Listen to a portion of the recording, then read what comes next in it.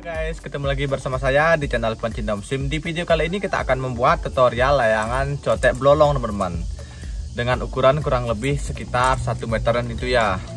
Dan ini kerangkanya Untuk kerangkanya seperti biasa sangat simple Yaitu satu kerangka sayap Satu kerangka lurus Pinggang, kepala sama dua kerangka ekor itu aja ya. Untuk ukuran kerangkanya yang pertama itu saya ukur dulu kerangka lengkungnya teman-teman ini kerangka lengkung. Untuk kerangka lengkung ukurnya itu 100 cm teman-teman. Dan yang kedua ada kerangka lurus. Untuk ukuran kerangka lurus di sini ukurnya 67 cm dan selanjutnya ada kerangka kepala. Untuk ukuran kerangka kepala yaitu 21 cm dan selanjutnya ukuran kerangka pinggang yaitu 21 cm juga kerangka kepala sama pinggang ukurnya sama ya teman-teman. Dan selanjutnya yang terakhir ada kerangka ekor. Ini kerangka ekor kali dua. Untuk ukurnya itu 50 cm teman-teman. Pastikan membuat kerangka ekor kelenturnya sama bentuknya sama ya. Biar kita mendapatkan bentuk layangan sama hasil layang yang bagus. Untuk itu bagi kalian yang baru gabung jangan lupa dukung channel pencinta musim dengan cara klik tombol subscribe, like, dan share juga ke teman-teman kalian. Dan sekarang kita langsung saja ke tahap perakitan kerangkanya. Ya teman-teman, yang pertama itu kita rakit dulu kerangka kepalanya teman-teman. Kita rakit dulu kerangka kepalanya, setelah ini lanjut perakitan kerangka pinggangnya ya. Setelah selesai perakitan kerangka pinggang, selanjutnya itu perakitan kerangka sayap atau kerangka lengkungnya itu. Dan setelah ini lanjut yang terakhir perakitan kerangka ekornya teman-teman. Setelah selesai perakitan kerangkanya, selanjutnya pemasangan tali penarikan kerangkanya teman-teman.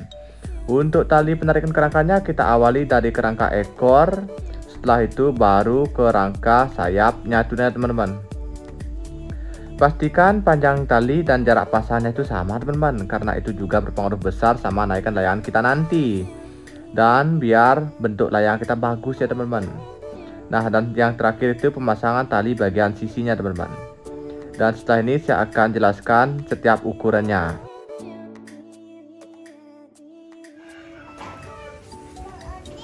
Ya teman-teman dan sekarang lanjut ke pengukuran jarak pasang kerangkanya. Yang pertama itu kita ukur dari atas dari kerangka kepala menuju kerangka sayap. Nah untuk ukurnya itu 17 cm teman-teman. Dari atas menuju kerangka sayap ukurnya itu 17 cm Dan dari kepala menuju ke pinggang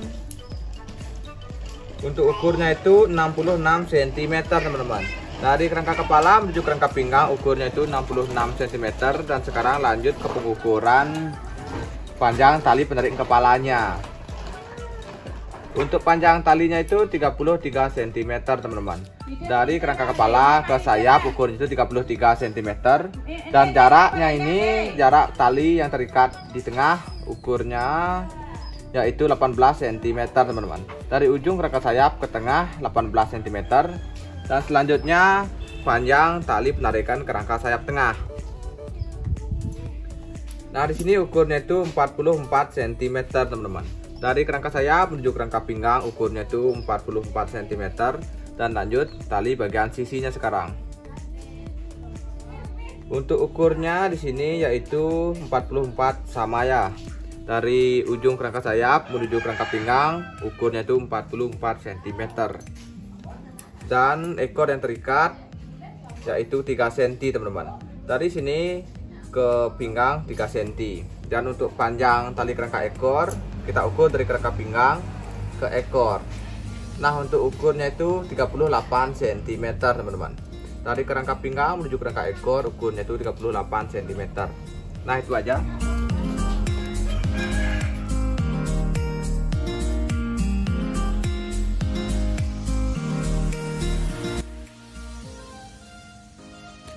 Dan sekarang lanjut ke penukupan kerangkanya teman-teman. Yang pertama itu kita tempel dari kerangka kepala, habis itu ke pinggang. Setelah penukupan ke pinggang, baru kita rapikan sedikit ya. Di ujung-ujung kerangkanya itu kita tempel. Sekarang kita bentuk dulu plastiknya. Setelah terbentuk, baru kita rapikan tukupannya itu teman-teman. Untuk kalian yang baru belajar menukup layangan cotek blolong, bisa banget ini ditiru karena tukupan seperti ini sangat mudah dan gampang ditiru teman-teman. Ya ini udah selesai dan sekarang lanjut pemasangan plastik putih bagian sisinya itu teman-teman. Kita tempel-tempel aja. Kita tempel lagi satunya biar sekalian menempel gitu ya baru kita potong dan kita tempel kita cari rapinya teman-teman. Nah ini udah rapi tinggal pengerapian lagi satu itu bagian sebelahnya ini. Ya kita rapikan lagi sedikit. Setelah ini lanjut pemasangan sirip atau glebernya itu teman-teman. Ya dan sekarang lanjut pemasangan sirip atau glebernya teman-teman.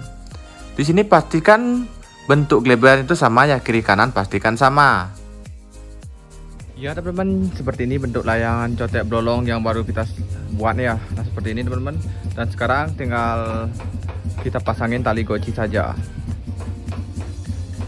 Ya dan sekarang lanjut pemasangan tali gocinya teman-teman. Untuk tali gocinya di atas satu di bawah satu. Ya teman-teman untuk tali gocinya udah terpasang pas di tengah-tengah kerangka sayap sama di atas kerangka pinggangnya nih ya teman-teman. Kita lihat dari depan nih tali gocinya. Sini sama di bawah. Dan sekarang layarnya kita terbangkan teman-teman.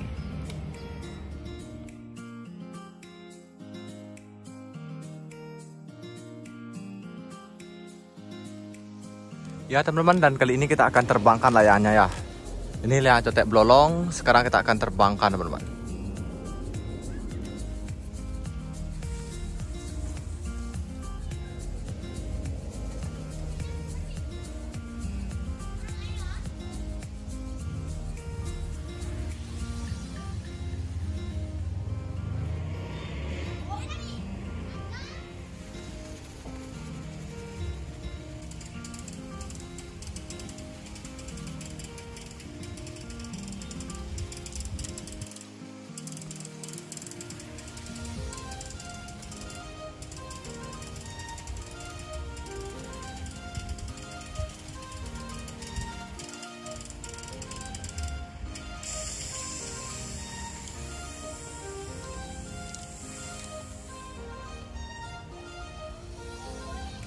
Ya teman-teman, untuk layangan cotek blolongnya sudah mengindang di udara teman-teman. Bisa dilihat.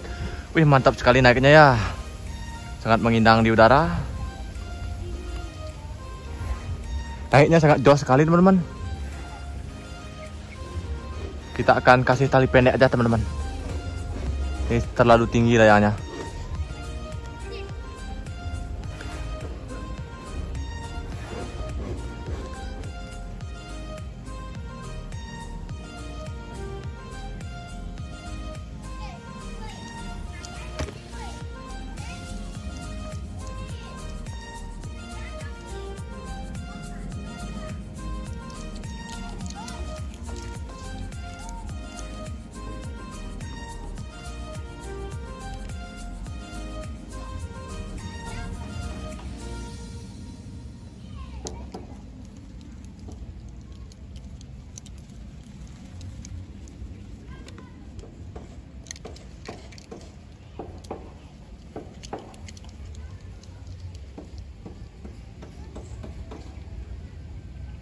Iya teman-teman videonya sampai di sini dulu. Kita ketemu lagi di video selanjutnya.